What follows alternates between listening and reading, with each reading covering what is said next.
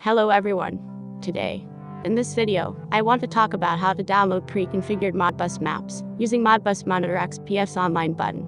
Check my other video on how to install. The link to video is shown on the top. Let's get started. I have Modbus Monitor XPF launched from the Windows Start menu. I am going to delete all Modbus Monitor points to get the fresh start. Click on the online button to see the list of pre-configured Modbus map available to download from online database. After a few seconds, the bottom area shows the list of high-quality Modbus maps released by modbusmonitor.com. It may take more time to load the list if your internet speed is low. The list may be empty if the internet link is down.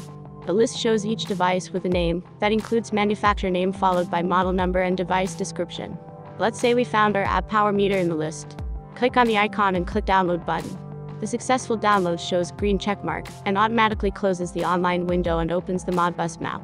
That's it with two clicks you have a high quality map that would have taken you at least an hour or more to manually enter each address from user's guide.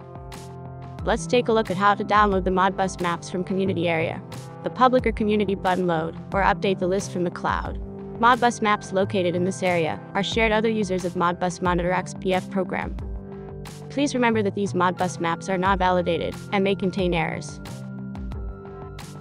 Then click on the icon to load the file name in the download area. Click on the download button to download and open the Modbus map. Let's look at how to upload and share your Modbus to others in the community. Click on the Share button. Select the valid Modbus Monitor XPF project file and click OK. The green check mark shows successful upload. Click on Community icon to refresh the list. Alright, we have reached the end of the video. Give Modbus Monitor XPF application a try if you don't have it already. You can give try it free for 30 day and see if saves you time and meets your expectations. Please subscribe and like the video. Let me know down in the comment which videos would be helpful to make next. If you want to see more videos like these in the future, please consider subscribing. Alright, this is all I have you for today. I hope you enjoyed see you next time, bye.